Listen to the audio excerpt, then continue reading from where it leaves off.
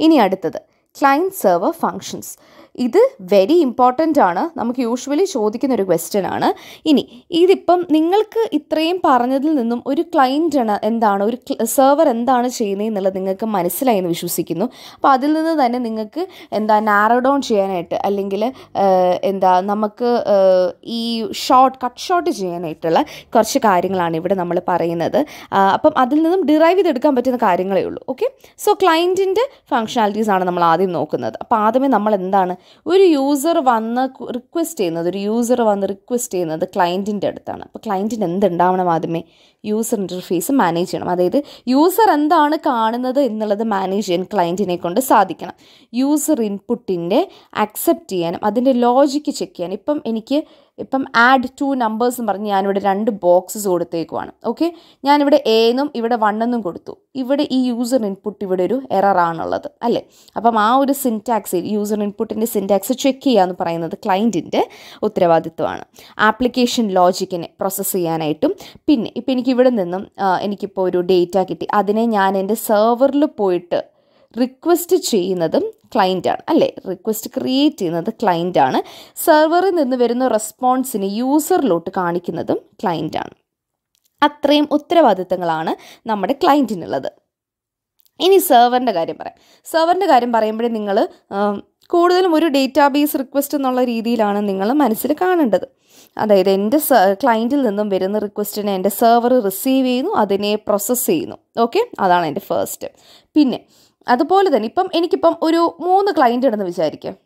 Okay ഇതൊരു client A client B client C എന്റെ സെർവറിലോട്ട് എനിക്കിവിടെ ഒരു റിക്വസ്റ്റ് വരുവാണ്. ഓക്കെ ഇതെല്ലാം റിക്വസ്റ്റുകൾ വരുവാണ്.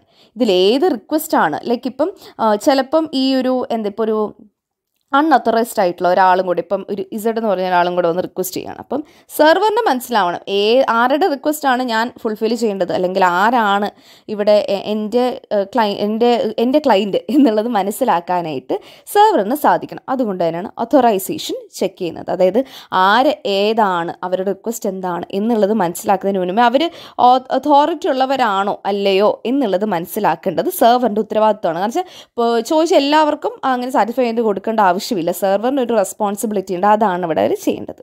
ഇന്റഗ്രിറ്റി കൺസ്ട്രെയിൻസ് വയലേറ്റ് ചെയ്യാണ്ട് നോക്കണം ഇത് നമ്മൾ ഡേറ്റാബേസ് മാനേജ്മെന്റിൽ പഠിച്ച കാര്യമാണ്.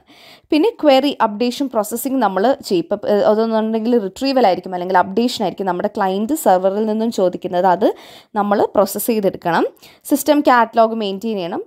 കൺകറന്റ് ഡേറ്റാബേസ് ആക്സസ് നമ്മൾ പ്രൊവൈഡ് ചെയ്യണം. എന്തെങ്കിലും ഒരു ഫെയിലിയറോ അല്ലെങ്കിൽ എന്തെങ്കിലും ഒരു ട്രാൻസാക്ഷൻസ് ഇടയിൽ വെച്ച് നിന്ന് പോയെന്നുണ്ടെങ്കിൽ അതിന്റെ റിക്കവറിയും സെർവർ നോക്കണം. അപ്പം നമ്മൾ ഈ ഒരു സെർവറിന്റെ സെക്ഷനിലോട്ട് നോക്കുമ്പോഴത്തേന് കൂടുതലും ഡേറ്റാബേസ് മാനേജ്മെന്റ് നമ്മൾ പഠിച്ച കുറേ കാര്യങ്ങളാണ് നമ്മൾ കാണുന്നത് അല്ലേ?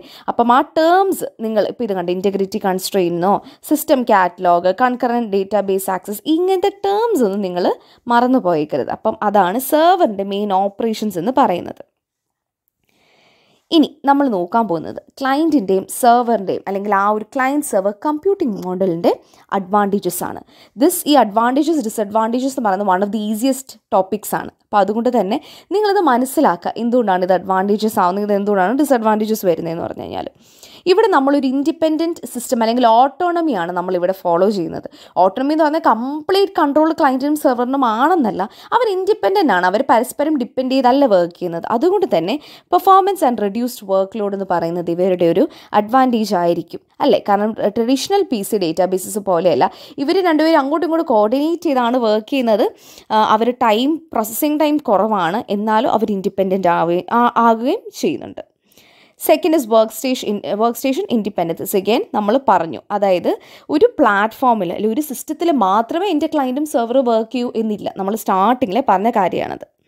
സിസ്റ്റം ഇൻട്രോപ്പറബിലിറ്റി എന്ന് പറഞ്ഞു കഴിഞ്ഞാൽ ഇപ്പം എന്താ പല കോം കോമ്പോണൻസിനെയും എന്റെ ക്ലയന്റ് സെർവർ വെച്ചിട്ട് എനിക്ക് ചേഞ്ച് ചെയ്യാൻ പറ്റും. ഇപ്പം എന്റെ ക്ലയന്റിലും എന്റെ സെർവറിൽ ഒരു കോമ്പണന്റ് എനിക്ക് ചേഞ്ച് ചെയ്യാൻ പറ്റും. പല കോമ്പണൻസ് ചേഞ്ച് ചെയ്യാനായിട്ട് പറ്റും.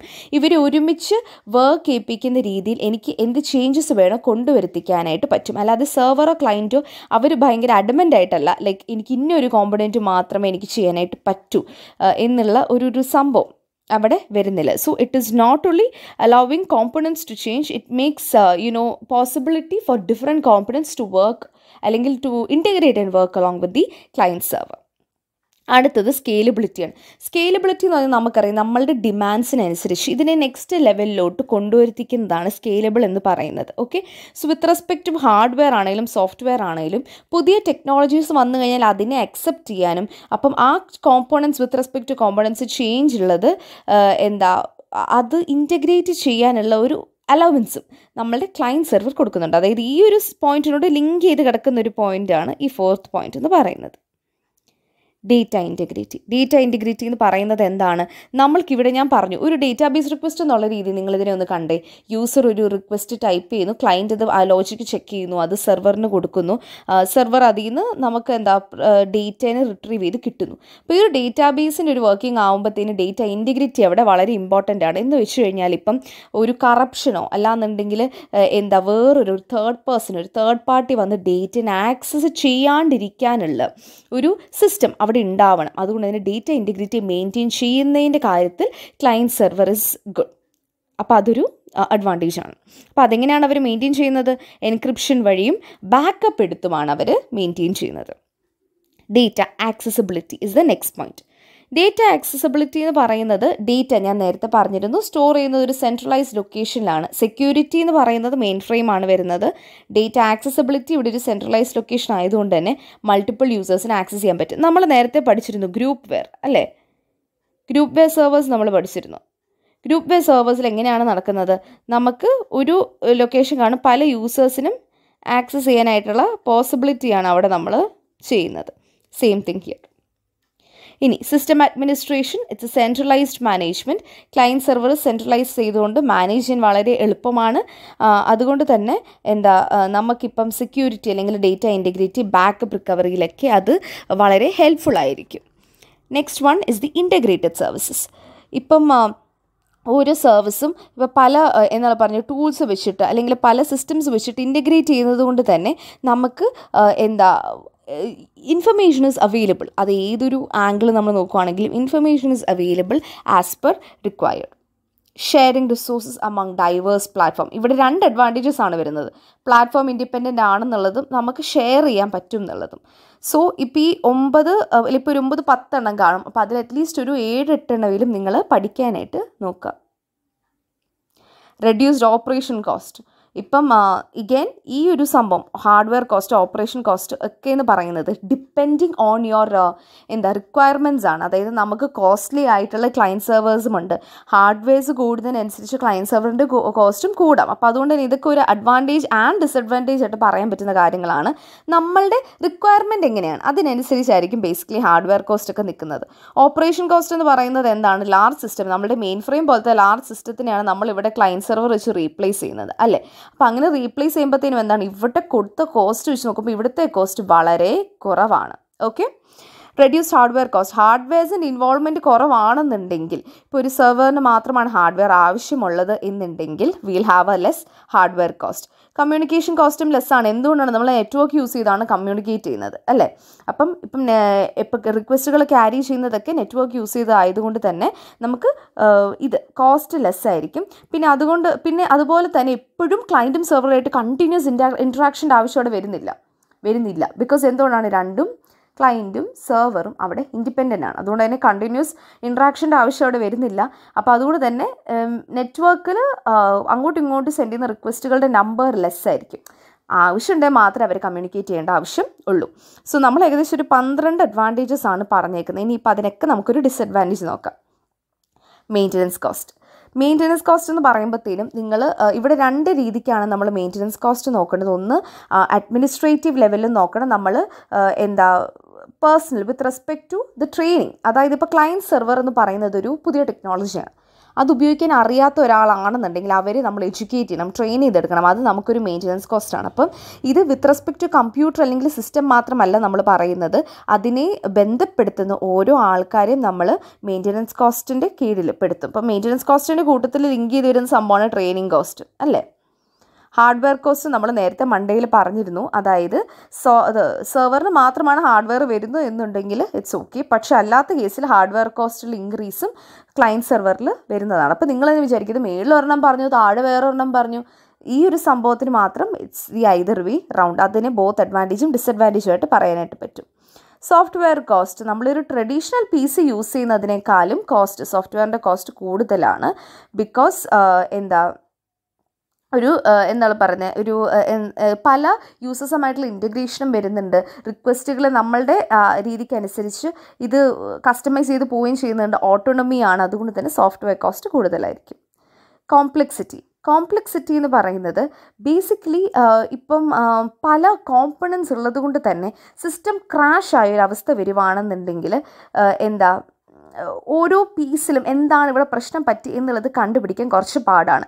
പക്ഷേ it will be easy when നമുക്ക് ട്രെയിൻഡ് ആയിട്ടുള്ളൊരു പേഴ്സണൽ ഉള്ളപ്പോഴോ അല്ലെങ്കിൽ ഇത് ഈ ഒരു സോഫ്റ്റ്വെയറിൽ ഈ ഒരു ടെക്നോളജി ആയിട്ട് അത്യാവശ്യം ഫെമിലിയർ ആണെന്നുണ്ടെങ്കിൽ ഈ ഒരു ക്രാഷിനെ പിൻ പോയിന്റ് ചെയ്യാനായിട്ട് ഈസി ആയിരിക്കും. പക്ഷെ അല്ലാത്ത പക്ഷം it will take a lot of എന്താണ് പറയുന്നത് പൊട്ടൻഷ്യൽ അല്ലെങ്കിൽ it will take a lot of time in order to find out where the things went wrong ഇനി അടുത്ത് നമ്മൾ നോക്കാൻ പോകുന്നത് ക്ലയന്റ് സെർവർ നെറ്റ്വർക്കിന്റെ അഡ്വാന്റേജസ് ആൻഡ് ഡിസഡ്വാന്റേജസ് ആണ്.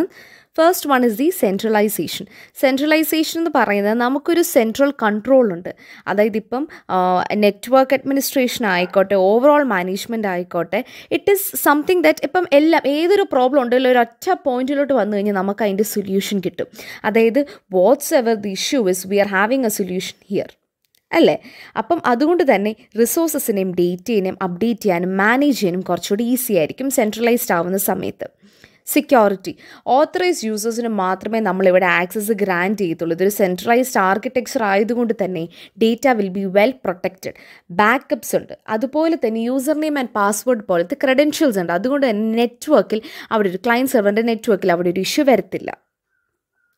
സ്കേലബിലിറ്റി. സ്കേലബിലിറ്റി എന്ന് പറയുമ്പോഴത്തേനും ക്ലയന്റ് സെർവറിന് നമുക്ക് എങ്ങനെ വേണോ മോഡിഫൈ ചെയ്യാനായിട്ട് പറ്റും. നമുക്ക് number of use resources users use ചെയ്യുന്ന നമ്പർ ഓഫ് റിസോഴ്സസിനെ നമുക്ക് ഇൻക്രീസ് ചെയ്യാനായിട്ട് സാധിക്കും. ഒരു രീതിക്കുള്ള ഡിഫിക്കൽട്ടിയും ഇല്ലാണ്ട്. അത് എന്തുകൊണ്ടാണ് ആ ഒരു ഫ്ലെക്സിബിലിറ്റി കാരണമാണ് ക്ലയന്റ് സെർവർ നെറ്റ്വർക്ക്സിന്റെ ഒരു ഫ്ലെക്സിബിലിറ്റി കാരണമാണ്. ആൻഡ് അതുപോലെ തന്നെ ഈ ഒരു ഇഷ്യൂസ് വരുന്നത് എന്നാൽ പറയുന്നത് കറക്റ്റ് ചെയ്യാനോ അല്ലെങ്കിൽ ഈ ഒരു എക്സിസ്റ്റിംഗ് ക്ലയന്റ് സെർവർ നെറ്റ്വർക്ക്സിനെ കോൺഫിഗർ ചെയ്യാനോ ലെസ് നമ്പർ ഓഫ് സ്റ്റാഫ്സ് മതി. ഓർത്തോണം ഞാനിവിടെ പറയുന്ന ക്ലയന്റ് സെർവറിന്റെ അഡ്വാന്റേജസ് അല്ല ക്ലയന്റ് സെർവർ നെറ്റ്വർക്കിന്റെ അഡ്വാന്റേജസ് ആണ് ക്വസ്റ്റ്യൻ വായിക്കുമ്പം ശ്രദ്ധിച്ച് വായിച്ച് ആൻസർ ചെയ്യാനായിട്ട് നോക്കുക. Fourth one is management centralized network ആയതുകൊണ്ട് തന്നെ ഇതിനെ മാനേജ് ചെയ്യാനായിട്ടോ അല്ലെങ്കിൽ ഇപ്പോൾ ഒരു റെക്കോർഡിനെ ഫൈൻഡ് ചെയ്യാനായിട്ടോ അതിനെ ട്രാക്ക് ചെയ്യാനൊക്കെ ആയിട്ട് ഈസി ആയിരിക്കും. Accessibility again we have to all come to one single point right അപ്പം അതുപോ അതുകൊണ്ട് തന്നെ നമുക്ക് എന്താ ഈ ഒരു പോയിന്റിൽ നിന്നും ഡേറ്റേനെ ആക്സസ് ചെയ്യാനോ അല്ലെങ്കിൽ what's ever are client ask അതിനെ പ്രൊവൈഡ് ചെയ്യാനോ ഡിഫിക്കൽട്ടി കാണത്തില്ല. അപ്പം ഇവിടെ നമ്മളൊരു ടെർമിനലിനെയോ അല്ലെങ്കിൽ പ്രൊസസ്സറിന്റെ ആവശ്യവും വരുന്നില്ല. ഡിസഡ്വാന്റേജസ് ഞാൻ പറയാം. അപ്പം ഞാൻ നേരത്തെ പറഞ്ഞിരുന്നു നമുക്കൊരു സെർവറിനെ പല ക്ലയൻസുമായിട്ട് പെയറപ്പ് ചെയ്യാമെന്ന് പറഞ്ഞില്ലായിരുന്നു. അപ്പോൾ ഒരുപാട് ക്ലയന്റുകൾ വരുമ്പോഴത്തേനുള്ള പ്രശ്നം എന്താണെന്നറിയോ? ട്രാഫിക് കൺജഷൻ അതായത് കുറേ റിക്വസ്റ്റുകൾ വരും. ഇതിൽ ഏതാണ് എന്താണ് ആദ്യം ചെയ്യേണ്ടതെന്നുള്ളത് സെർവറിന് തന്നെ ഒരു കൺഫ്യൂഷനും നെറ്റ്വർക്ക് വൈസ് വരുമ്പോഴത്തേന് അപ്പം ഒരുപാട് റിക്വസ്റ്റുകൾ വരുമ്പോഴത്തേന് ക്രാഷ് ചെയ്യാനുള്ള കേസസ് കൂടുതലാണ്.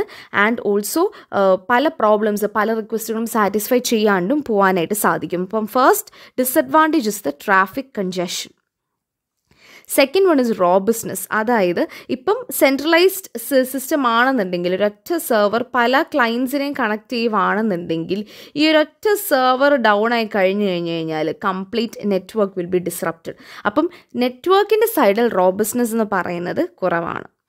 Cost for setting up is high with respect to the client server network because എന്താണെന്ന് വെച്ച് കഴിഞ്ഞാൽ നെറ്റ്വർക്ക്സ് ഭയങ്കര പവർഫുൾ ആയിട്ടാണ് നമ്മൾ എക്സ്പെക്ട് ചെയ്യുന്നത്. കാരണം ഒരു ക്ലയന്റിന്റെ റിക്വസ്റ്റ് വരുമ്പോഴത്തേനും സെർവർ അത് സാറ്റിസ്ഫൈ ചെയ്യണം ഉടനെ സാറ്റിസ്ഫൈ ചെയ്യണം എന്നാണ് നമ്മൾ ആഗ്രഹിക്കുന്നത്. അപ്പോൾ അങ്ങനെ ഒരു ആഗ്രഹം ഉണ്ടെന്നുണ്ടെങ്കിൽ അതുപോലെ തന്നെ സ്പീഡായിട്ടുള്ള ഒരു നെറ്റ്വർക്ക് ആയിരിക്കും നമ്മളതിൽ ആവശ്യപ്പെടുന്നത്. So the cost will go high cost high ആകുമ്പോഴത്തേന് എന്താണ് പറ്റുന്നത്? ഇതിനെ മെയിന്റെയിൻ ചെയ്യാനുള്ള ഡിഫിക്കൽട്ടി അവിടെ വരുവാണ്. If there is no one അവിടെ ഒരു ഇഫ് കണ്ടീഷനാണ് വരുന്നത്. If there is no one that is properly trained or who is having a proper idea of what is happening there resources ഇപ്പം ചില റിസോഴ്സസ് സെർവറിൽ അക്വയറബിൾ അല്ലായിരിക്കും. അപ്പം അത് നമ്മൾ അതിനനുസരിച്ച് നമ്മുടെ റിക്വസ്റ്റുകളെ മോഡിഫൈ ചെയ്യേണ്ട ആവശ്യം വരും. അതായത് ഇപ്പം എന്റെ ഒരു പ്രിന്റ് സെർവർ ആണെന്നുണ്ടെങ്കിൽ ഓക്കെ എന്റെ പ്രിന്റ് സെർവർ ആണെന്നുണ്ടെങ്കിൽ അവിടെ പ്രിന്ററിലോട്ടുള്ള ആക്സസ് മാത്രമേ ഉള്ളൂ അല്ലേ? അല്ലാണ്ട് വേറെ എന്താണെങ്കിലും എനിക്ക് അവിടെ ചെയ്യാനായിട്ട് പറ്റത്തില്ല. ഇപ്പം വേറൊരു എക്സാമ്പിൾ പറഞ്ഞെങ്കിൽ ഇപ്പം എന്റെ വെബ് സെർവർ ഞാൻ എടുത്തു എന്നുണ്ടെങ്കിൽ എനിക്ക് പ്രിന്റ് ചെയ്യണം എന്നുണ്ടെങ്കിൽ അത് പോസിബിൾ അല്ല. കാരണം ആ സെർവറിന്റെ എന്താ ക്രൈറ്റീരിയ അല്ലെങ്കിൽ ക്യാരക്ടറിസ്റ്റിക്സ് അവിടെ ലിമിറ്റഡ് ആണ്. സോ ഇതൊക്കെയാണ് നമ്മളുടെ ക്ലയന്റ് സെർവർ നെറ്റ്വർക്കിന്റെ അഡ്വാന്റേജസ് ആൻഡ് ഡിസഡ്വാന്റേജസ്